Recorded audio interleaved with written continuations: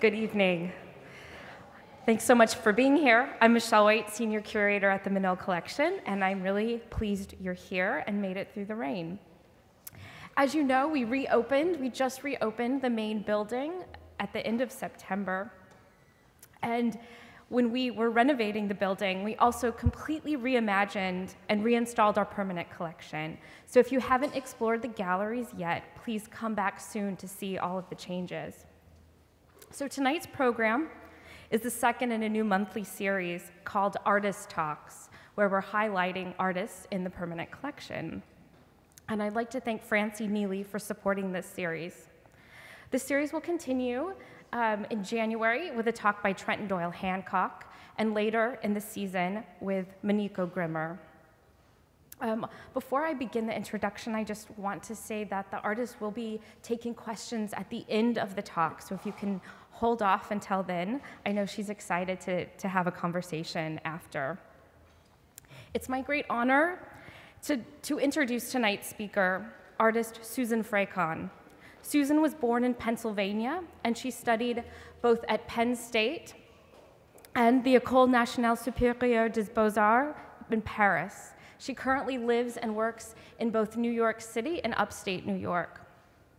Suzan's work is currently on view in our contemporary galleries, and I hope you've seen the remarkable painting, which she'll talk about tonight.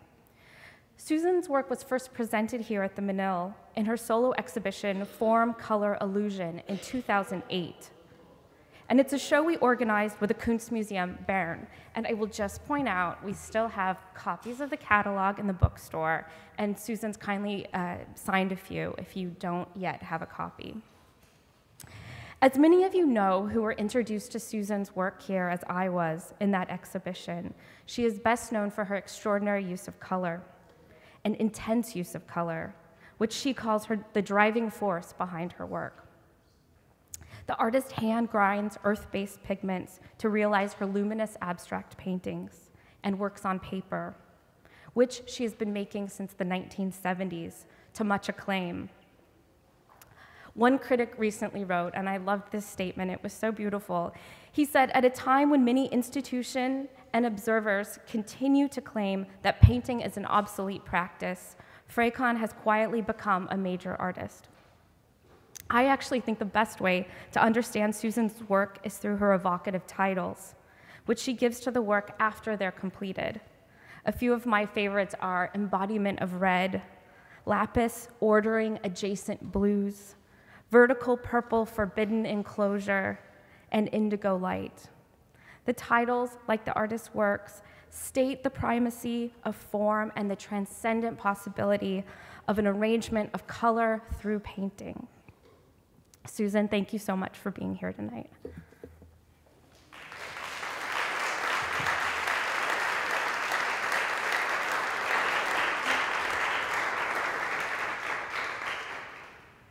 Thank you for that wonderful introduction, Michelle. Um, Welcome, everyone. First of all, I'd like to very sincerely thank Rebecca Rab- Rabinow, the new director of the Menil, and the curators and the in- entire wonderful Menil staff who made this occasion possible. And thank you, Marcelo Durand and uh, the staff at David Zwirner, the wonderful staff at David Zwirner Gallery, for aiding me in preparing this talk on my work. I'd like to offer my heartfelt thanks to Josef Helfenstein for bringing my paintings into the Menil during his tenure as director and curator. And I'm delighted for my work to be part of this amazing collection that comes from all over the world and from many diverse cultures.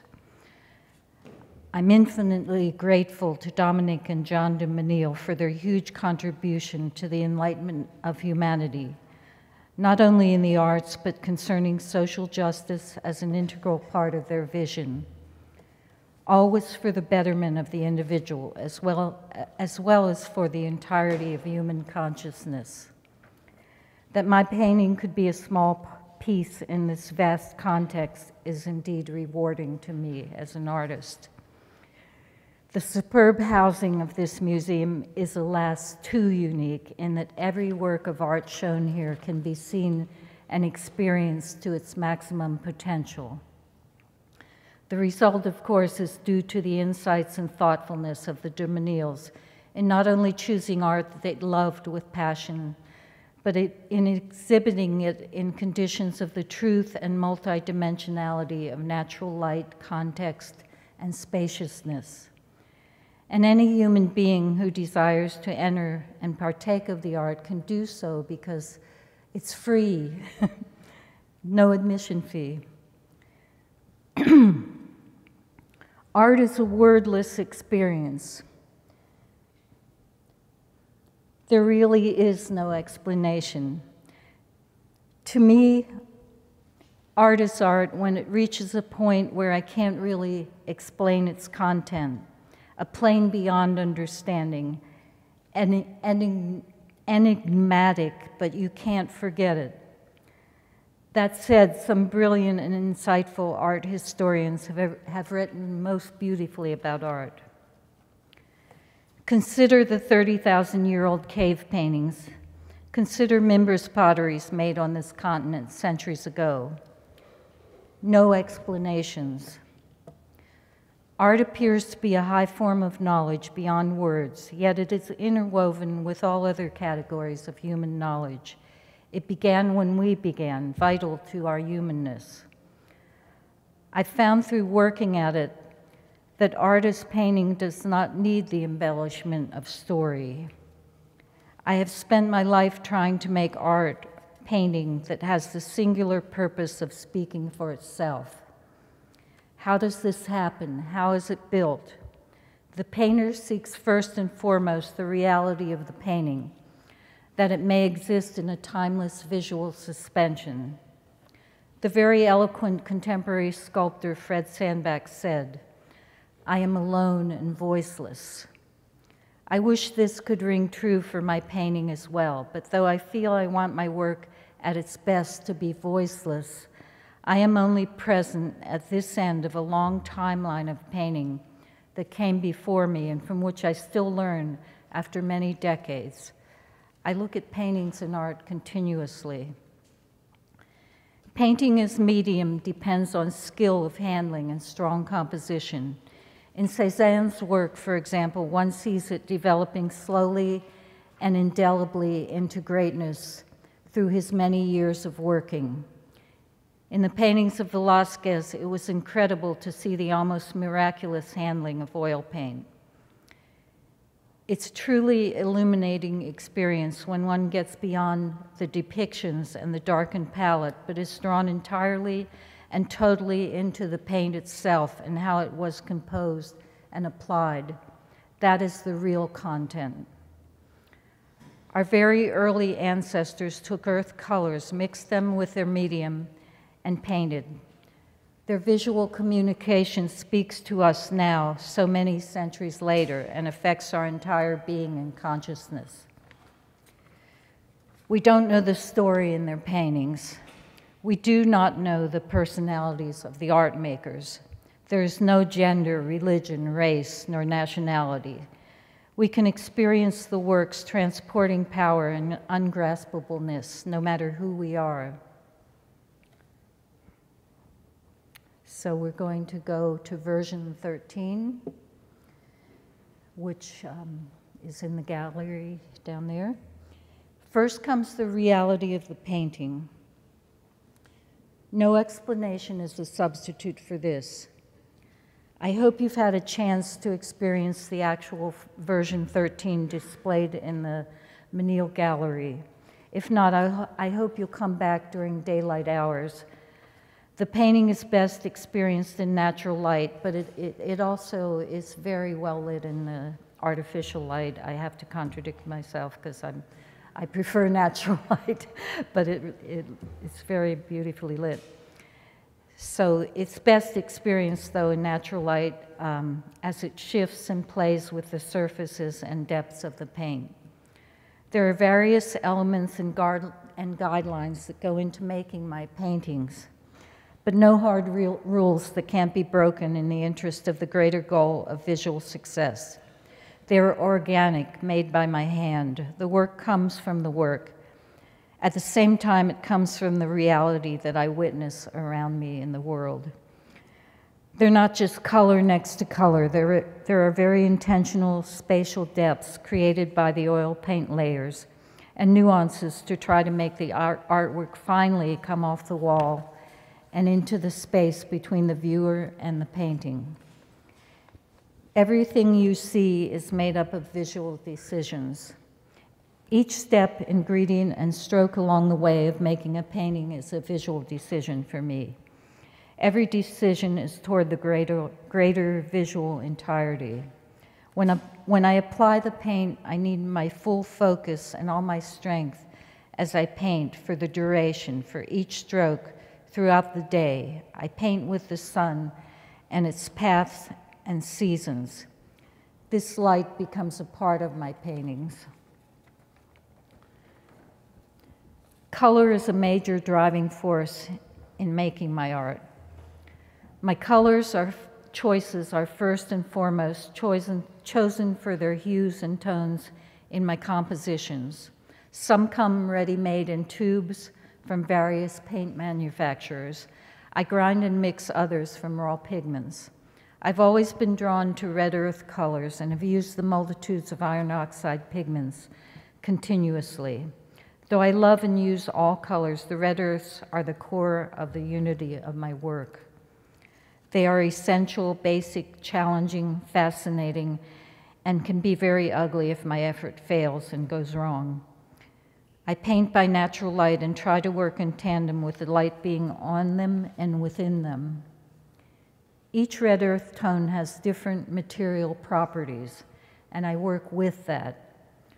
Some are very dense and opaque, whereas others can be more translucent. Some absorb more oil and are more difficult to grind and manipulate, and the opposite is true. The more I work with them, the more I learn, and the deeper I go into their properties, and it's very interesting.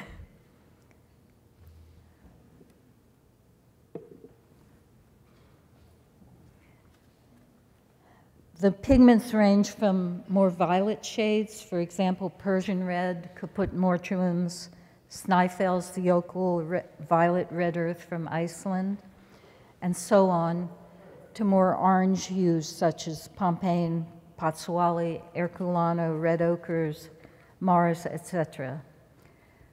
I use their innate properties to activate the work visually. I, I, don't mind that they link me to the first painters that ever used them and that, they, and that they are found in the earth throughout the world, regardless of national boundaries. They're truly universal. I am alone, but I am not alone. Most of the red earth paintings are made from dry pigments ground or mixed in, oil, in linseed oil. This is another image of the same painting, but um, each, it looks different in every photograph, so you have to see the real thing. The red earth pigments I used in version 13 were from top to bottom, English red deep, red ochre, Sopho rouge, Mars red, and iron oxide red medium. I hand mixed or ground them from dry pigments. Each hue was realized for the role that it played in the resulting color ranges of the painting. In other words, its re resulting form and appearance. This painting underwent many changes as I fine-tuned it over time. The arrangement and structures of close earth reds and their sheens, and I wouldn't really know how the painting would look until each layer had dried.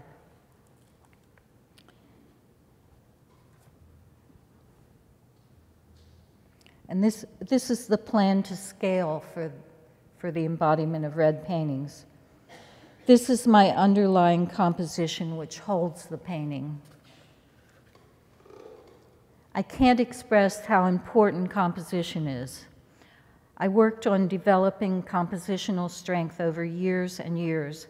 How could I import, impart strength into my compositional composition so that the underlying foundation would hold the work of art?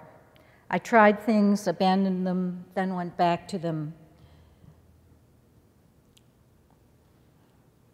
I found that paintings that relied only on ideas or emotion often fell apart visually, and relying on the grid or symmetrical geometry could lend work a systematic, predictable, or static feeling. When I first saw Hilma af Klint's work in the 80s, I was struck by her virtuosity as a painter, as well as by her asymmetries in the resolutions. I had been looking for asymmetry in my own resolutions. And seeing her work helped strengthen my intent. Finally, through many, many attempts and trials, I slowly worked my way back into an asymmetrical geometry. The scale is meant to be large so that the painting exists in a full, full viewing space with an overwhelming emanation or presence. I encourage viewers to walk around my paintings so that they can observe them from various angles and viewpoints. When my work is exhibited in natural light, it works with the light and is different each time one sees it. I determine the sizes of all my oil paintings in relation to the human body in inches and feet. This composition was originally titled There is No Beginning and No End but it was eventually retitled Embodiment of Red after I completed the first large painting using only red oxides.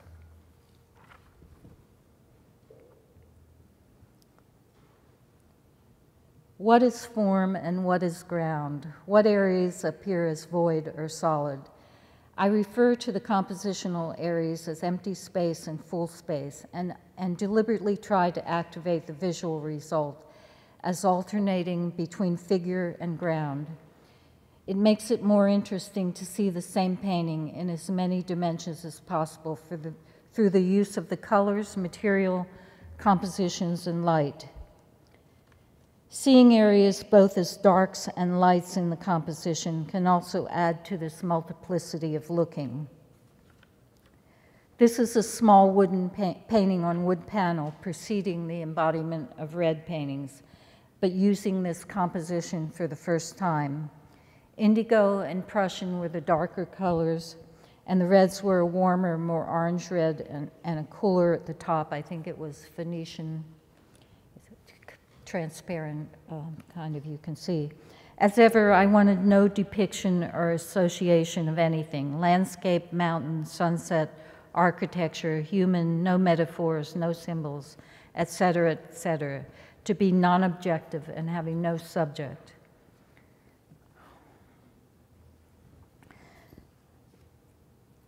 In this sketch idea, the indigo areas are reversed in the composition. I work out my ideas in small sketches continuously.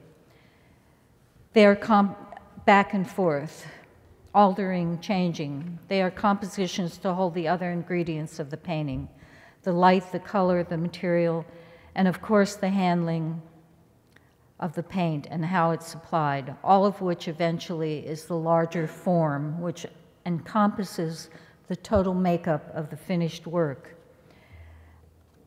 This is another sketch um, paper, and it, I was at the Menil looking at version 13 when it was first installed some years ago.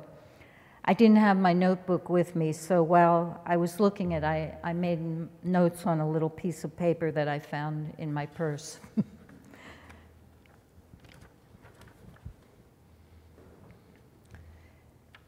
These sketches show the progression from indigo areas to all red areas. I intuitively decided to push the composition further by only employing four different earth reds, but which were closely related in tone.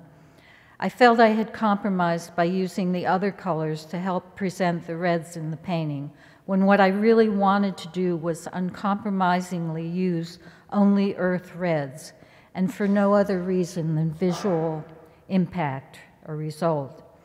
They should have dissonances and asymmetry, yet finally strengths of harmony and balance. Music, poetry, No, actually, but the areas could be relative. Only paint.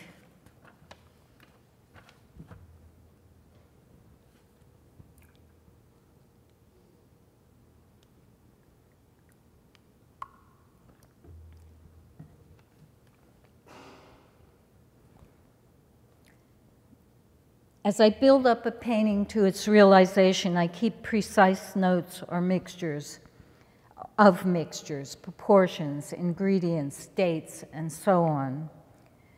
These are some of my notes for version 13 the in the Embodiment of Red series.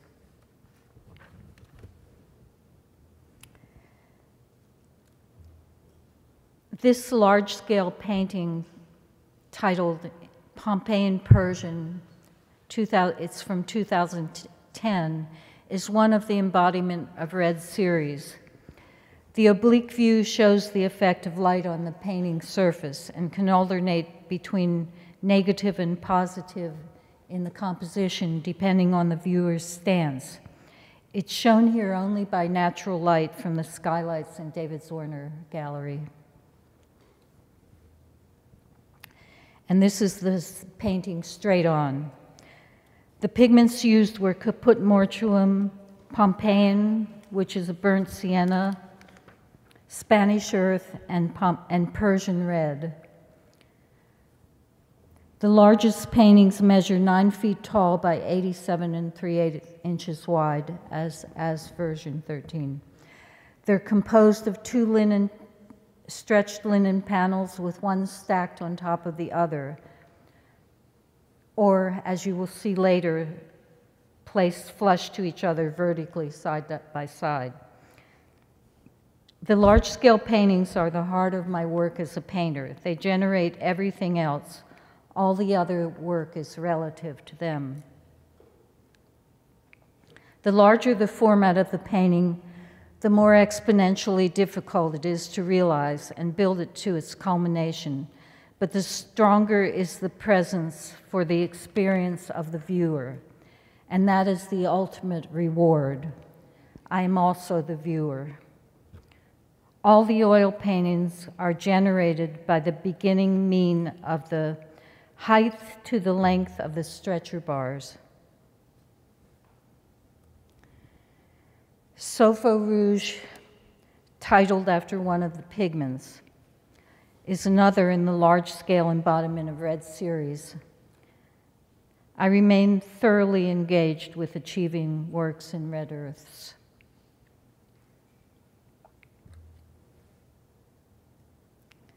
And these two watercolors came from the, the embodiment of red paintings. The watercolors are part of the same unity of all my work. They help me see.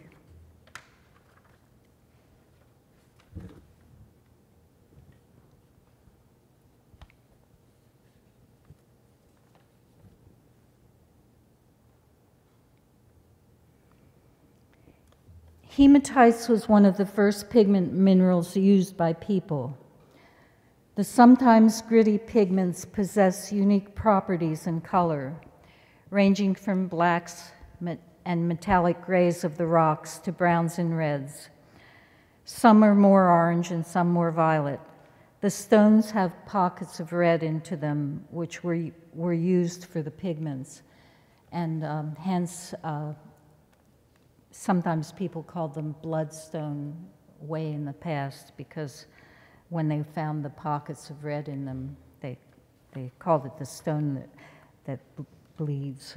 Anyway, I am, anyway, I employed it for its visual properties and found that surprising things occurred when I used it, such as turning silvery when I build up the paint layers or becoming multiple colors in one pigment or turning so ugly that I had to start over from the beginning layer. I wanted to make some paintings using only this family of earth reds to continue exploring these properties. This medium-sized painting is uh, 24 inches wide or two feet, and then um, I think about 29 inches high.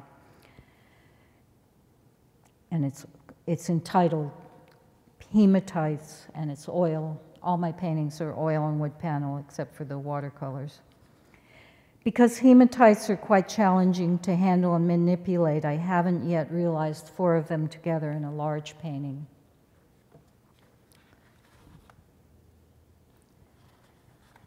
This, this came out a little dark, but it is, it's a dark painting, but it's a kind of dark. And it's also a medium-sized painting, a little bigger than the last one. And it's, um, it's titled Empty and Full Dust from 2013 and 2014. It's oil on two medium-sized stretch stacked linen panels. The title refers to Rumi poems and was part of the exhibition here at the Menil, Experiments of, with Truth, Gandhi and Images of Nonviolence, 2014 and 2015.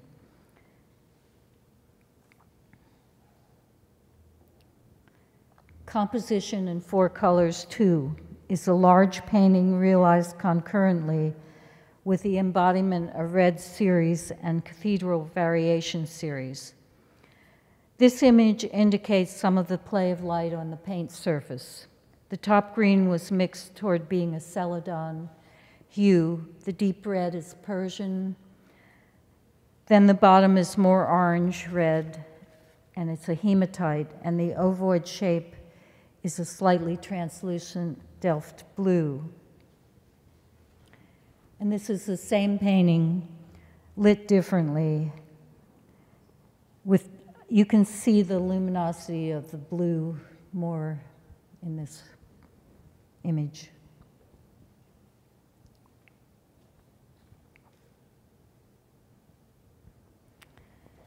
Four color composition on small paper one, fountain and shadow. I did a suite of four or five or six very small watercolors on found scraps of old Indian paper that came from the idea of the composition in four colors, and also relating to reading some of Jalaluddin Rumi's poems. These were also shown in, in the exhibition Experiments with Truth, Gandhi, and Images of, nine, of Nonviolence and they belong to, in the Menil, they belong to the Menil collection.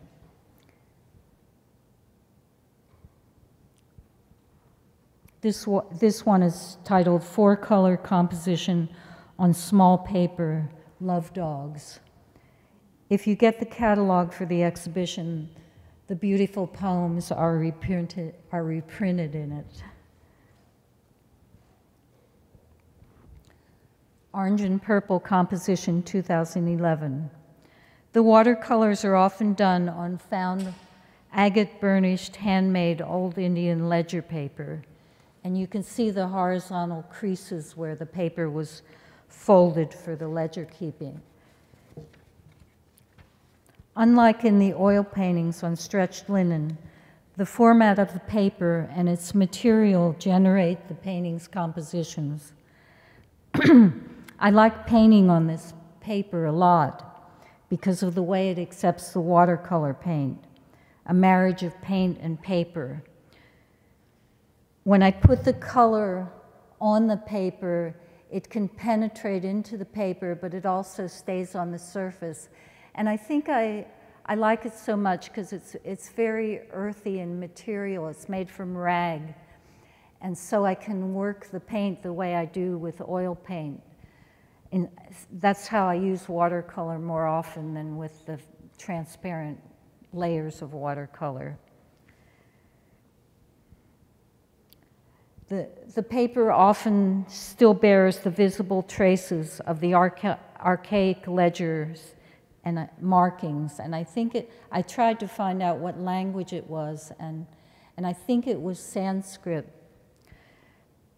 To my knowledge, it's no longer made. Um, some Indian painters use this, this old paper too, even, even though it has tears and marks and stains on it. We, you know, I feel a kinship with why they use it because the paper is just so wonderful to work with it that I never throw it, throw it away. If I messed up the watercolor, I wash it off and I start over again. And I keep working. And this, this watercolor, I worked it over so you can see how the paper is buckling. It's called Cathedral 2006. And, and it relates to the Cathedral series oil paintings that are coming up. So, this was the this was titled Composition with Red Earth and Red Earth, and um, you've probably seen it on the cover of the Menil catalog. For, it was part of the show entitled Form, Color, and Illumination Suzan Frecon Paintings in 2008 at the Menil.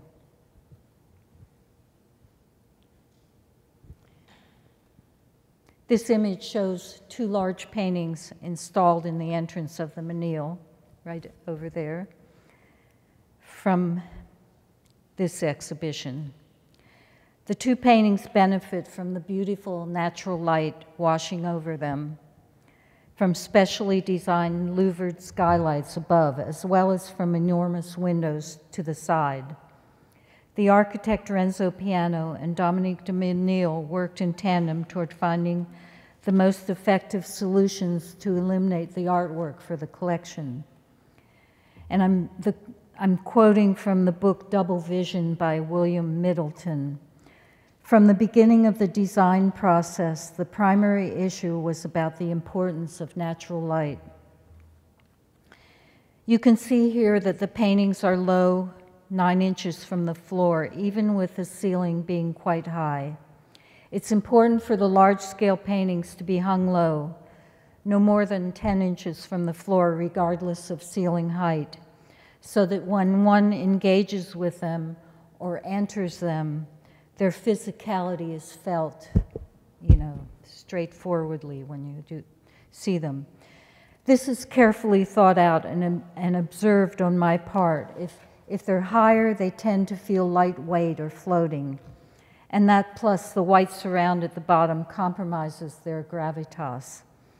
They're not meant to be de decorations to the exhibition space or subservient to the architecture, but to hold their own independent existence in the space and be most accessible to the experience of the viewer.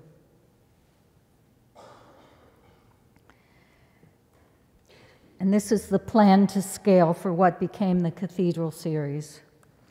In my work, one thing leads to another, and this composition came after and from the embodiment of red composition. Each area is proportionately related. I had recently visited um, the magnificent Chartres Cathedral.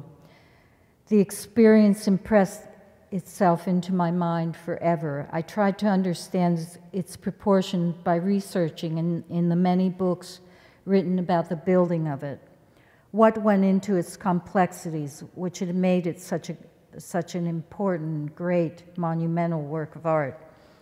I read a passage in a book by Fulcanelli, the, Le Mystère des Cathédrales, describing the multicolors of the original cathedrals. Imagining the cathedrals in colors compelled me to use this composition in reinventions of combinations of colors. This initial plan for composition with red earth and red earth evolved into the cathedral series.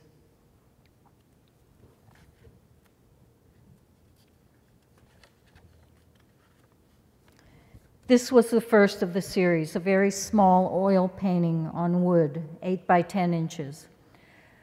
So, why do I do the smaller panels as well?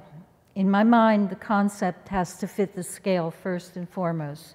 So, 10 inches has a nice feel in my hand and eyes, which my ha- that's kind of the span of my hand 10 by 8. I like holding that size and seeing it. Sometimes, as in this case, I make them to experiment with the colors before going on to the large format. and sometimes there are variations which come from the large paintings, but ultimately they exist autonomously as paintings. So again, I, I did many sketch ideas back and forth, finding, noting what colors I imagined them to be, and then executing them.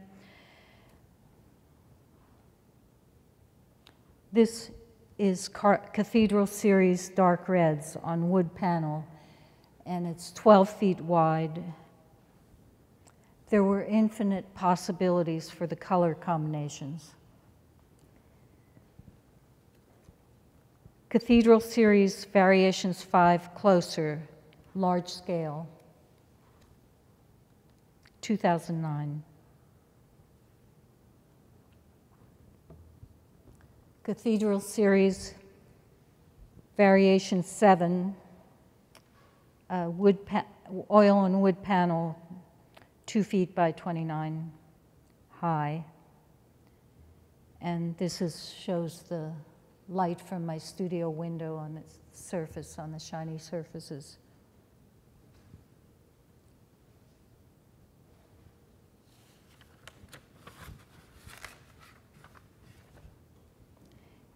And Cathedral Series Variation 6, 2010, large scale, it's a large scale painting. Like the embodiment of red paintings, I made many variations and I'm still using this composition. The Cathedral series led to the Book of Paint series. This 12 inch high painting on wood panel was my prototype, and it, it evolved over several years in trying to find the precise colors I desired in the painting. I often went to look at Islamic manuscript paintings and pages in museums. For a long time, I had been trying to resolve the five colors I was working with in Book of Paint. Working a malachite green into the composition was particularly difficult.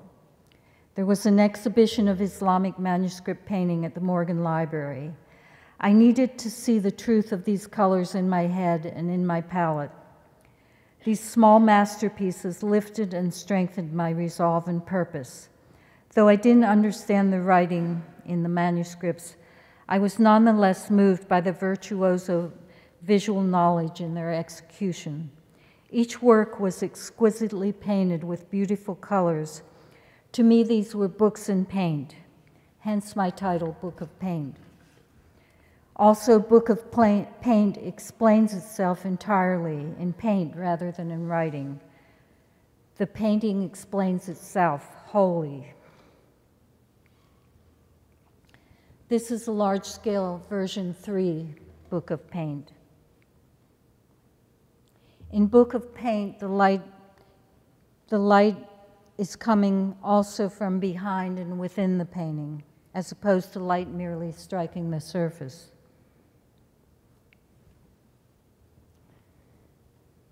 Book of Paint 2, this shows Book of Paint 2 installed in the back room of David Zwirner Gallery in 2015.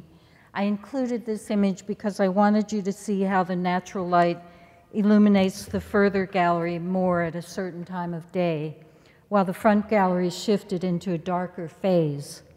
It was interesting to see the changes with the paintings as they were illuminated accordingly to the traversing of the sun's arc.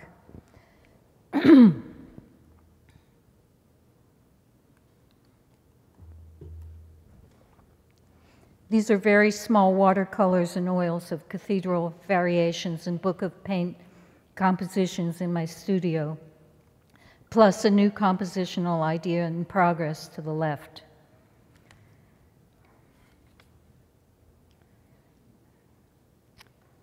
This shows watercolors on, with one small oil panel in the back on a table in my studio, relating to embodiment of red in the four, composition in four colors.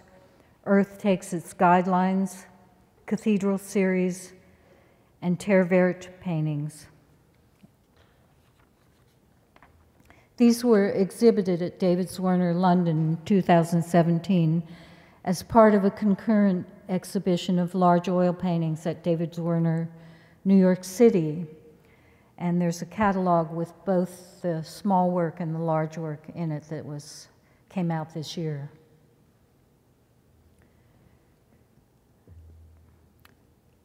This is entitled Terre Verte Large Scale. It's a large scale painting using only various earth greens or terre vertes with varying sheens. Earth greens are very transparent pigments, but I build up the paint layers so that they were more opaque, with light still glowing from within them. But I wanted to achieve the sense of the shifting relations in tandem with the physical, physical materiality of the painting.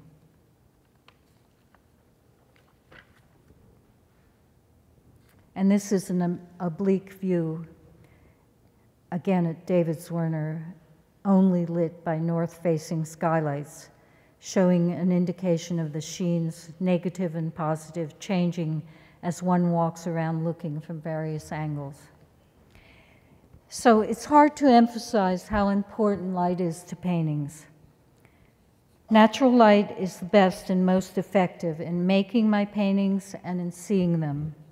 Daylight allows the painting to function in many changing dimensions and more to its maximum potential, thus enriching the experience of the viewer. Natural light is the most true to every element that makes up the painting.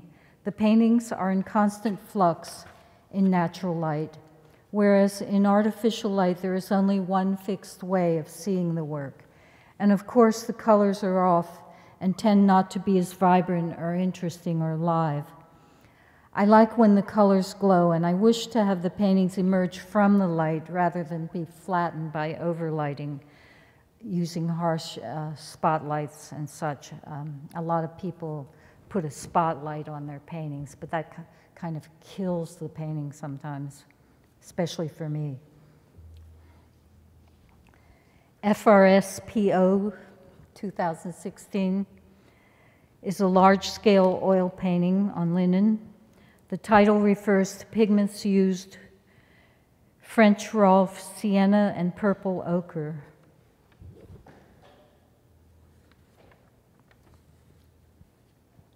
So, uh, sorry for the quality of this image, uh, but I just wanted to talk about it briefly.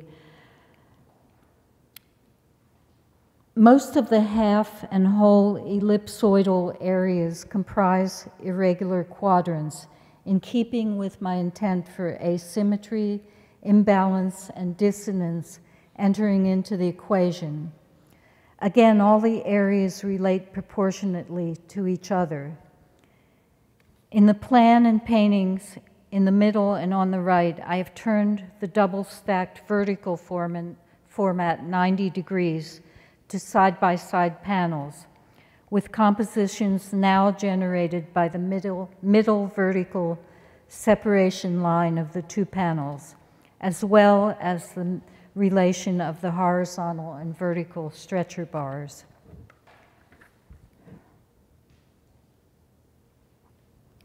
This is a related watercolor on found old Indian handmade paper. And this is a related oil painting titled Little Annunciata on wood panel using lapis lazuli, and it's 12 inches wide or one foot wide.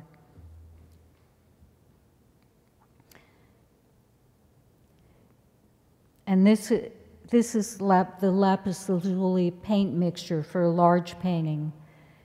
I have to mix a large quantity for the large paintings, and I have to cover the surface in one um, go. So I start early in the morning to mix it and work through the day. And um,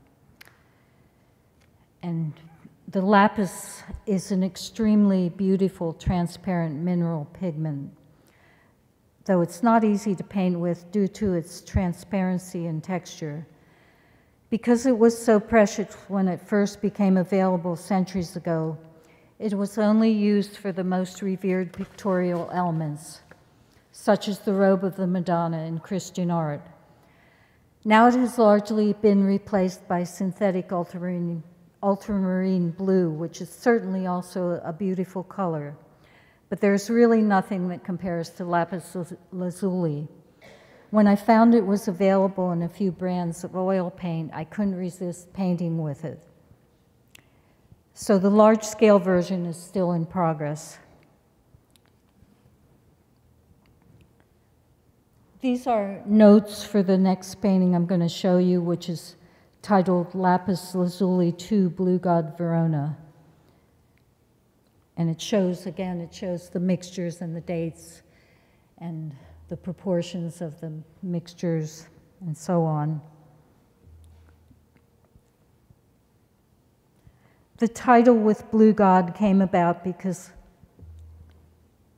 because lapis lazuli was used for the gods and goddesses.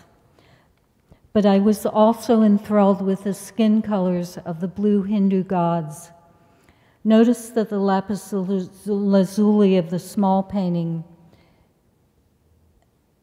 is not the same as the large painting, though both are lapis lazuli. Each is a different brand and probably from different parts of the globe. I don't know. The same can be said for the earth greens, Verona and Nicosia. It is true for most earth pigments and, and enters into my visual decisions or vocabularies as to which brands I employ and where they come from. As I said before, my choices are intuitive visual decisions, but they're very considered and reconsidered. So I suppose visual and mental are the same without being didactic.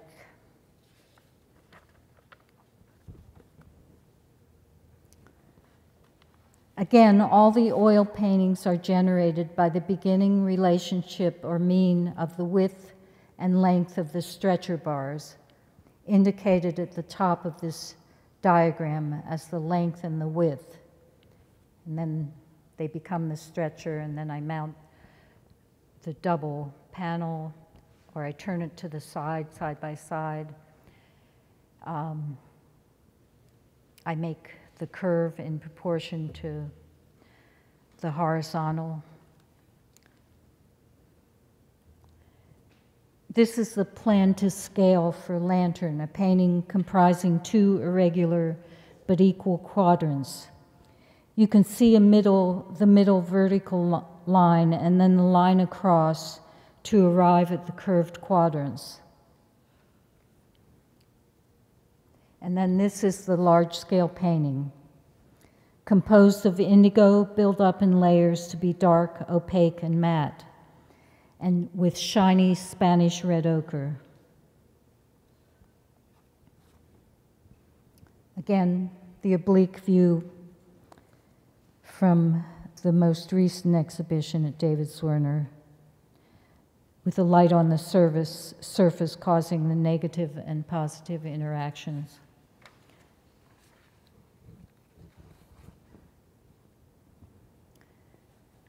Back to hematites. Um, this is a small oil trial on unstretched linen. I'm using a brushy, thinner mixture. Each stroke counts, and the strokes are obviously more visible here. So I'm mixing up a, a big batch of hematite pigment with cold pressed oil for a large painting in progress. And as I'm painting it.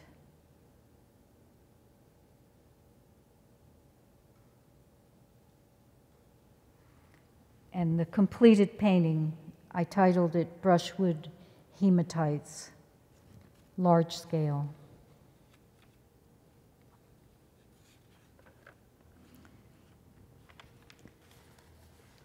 And here, uh, this shows mixing a Mars greenish yellow with oil for yellow lantern.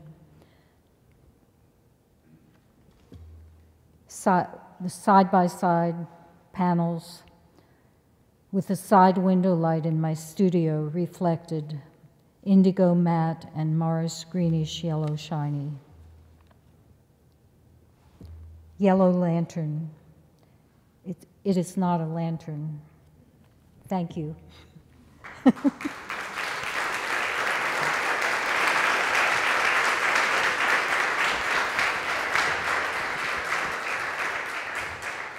so if you want to see any of the pictures again, I can go back, or if you have any questions. Um, you?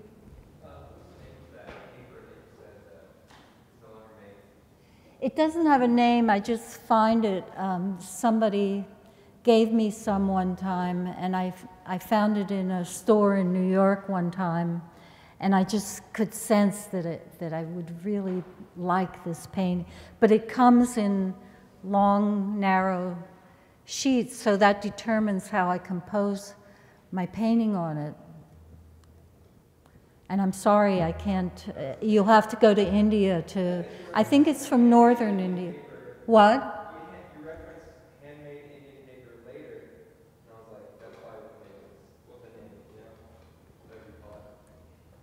I'm sorry, I'm, I, am a little hard of hearing, so maybe. I was saying, I was saying that you referenced uh, handmade Indian paper in another painting, and I was like, maybe that's the name. And, uh, you know, you're saying that there, it doesn't have a name, you know, what, what's the name of handmade Indian paper, right? So yeah. I'll call it that, right? I, I, I, was, I had a, a friend who traveled to India and, and he, he um, actually, I don't know if you've ever seen the anonymous Indian tantric paintings, but, but he sort of connected the outside world to these anonymous paintings that were made by only the initiated. You couldn't, um, they were meditation pieces and they weren't really to be brought into the commercial market, but, and they're contemporary and, and the artists go from one to another, but that's a whole other lecture. But he brought, he found some of the painting in Rajasthan and, and brought me a big batch, but um, I try to use other papers too, but I really love this paper. Who, oh, hello. How many pieces do you work on at a time? Well, right now I'm working on the large oil paintings, and I'm completely immersed in that, so I haven't really, I need my total focus to work on them. But when I have time, like when my studio was being built upstate, I couldn't, I couldn't work on the big paintings because they were building my studio and I needed to be there. So I did a whole lot of, um, you know, I put my power into work on paper because I wanted them to be big paintings eventually. And I didn't do one watercolor and then turn it into an oil. I don't really work that way but I, I had this, this nice uh, suite of watercolors that related very much to, to the oil paintings that came later.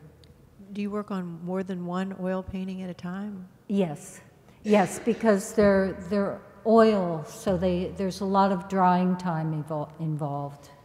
So while one's drying, I'll work on another one. So right now, in my studio upstate, I'm, I have four in progress. And then in New York, I have two or three in progress. But they develop slowly, and I like that because it gives me time to really consider and think about what I'm doing. And it's in the nature of oil paint to, de to develop slowly. And the nuance and everything goes along, it sinks in with that. Do you ever work on more than one motif in the, the ones um, you're working on? Do you work on more than one motif in the in the works that you're working oh, on contiguously? More than one composition, right. you mean? Um, yeah, definitely. Definitely.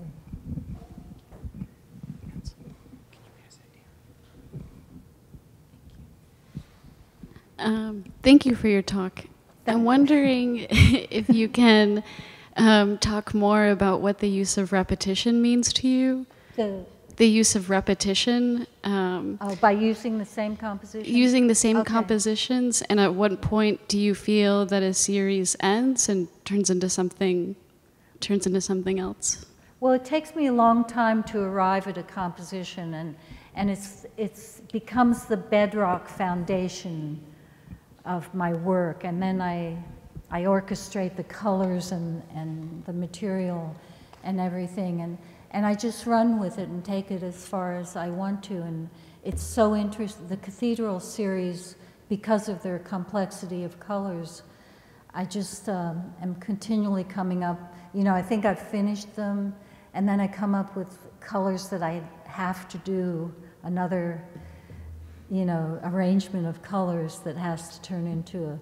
But but when I find a cathedral, um, a composition that I think is good, you know, I want I want to keep using it because uh, it's like using the rectangle of painting, but I want it to be what it is, and I, I can do that. I can do whatever I want. Okay, Claire.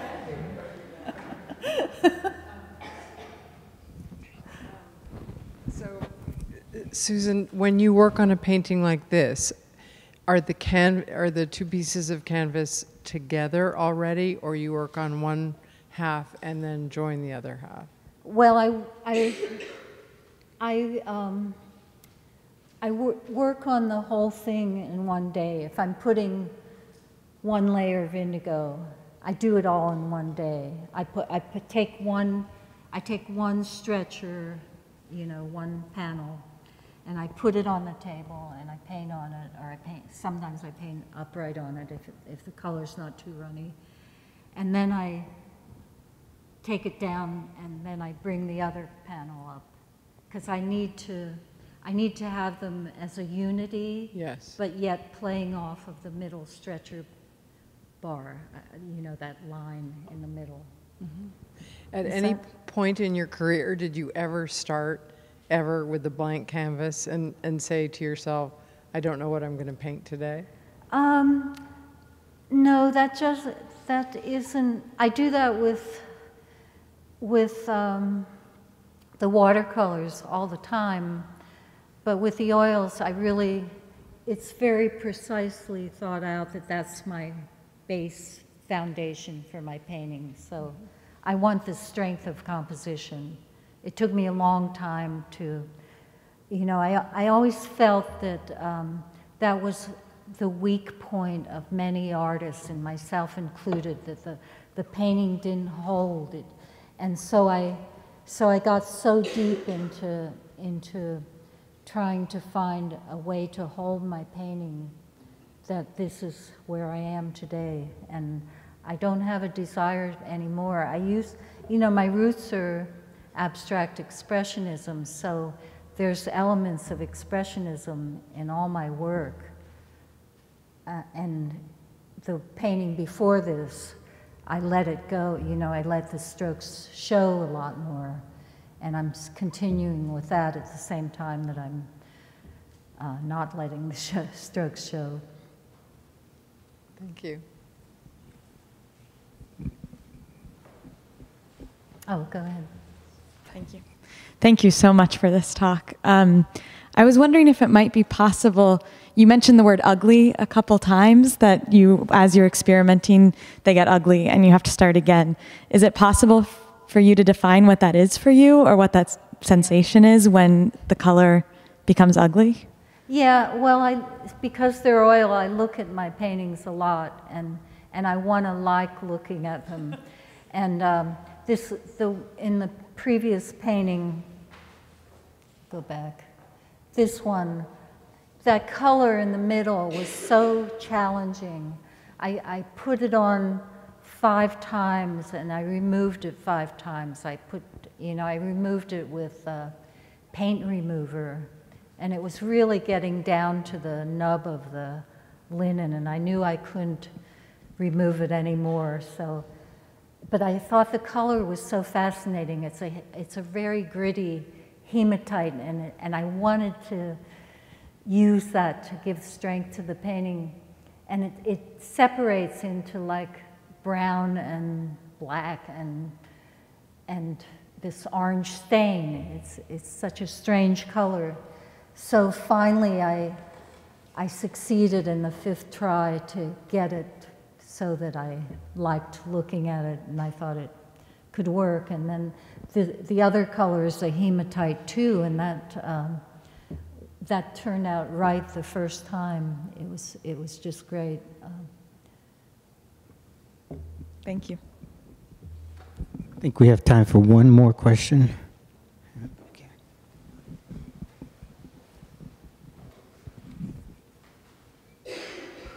Hi, I I had a question in terms of your surface. I've noticed some of them uh, have like Could you talk extreme. into the microphone? Can you hear me? Um, Yeah. The terms of the surface of the gloss areas, um, is it the, is the gloss coming from the medium you're making, mixing with the, uh, the pigment? or Yeah, is- it's more oil or less. So no oil. varnishes on top or anything? No, no varnish. S- Just uh, always linseed oil.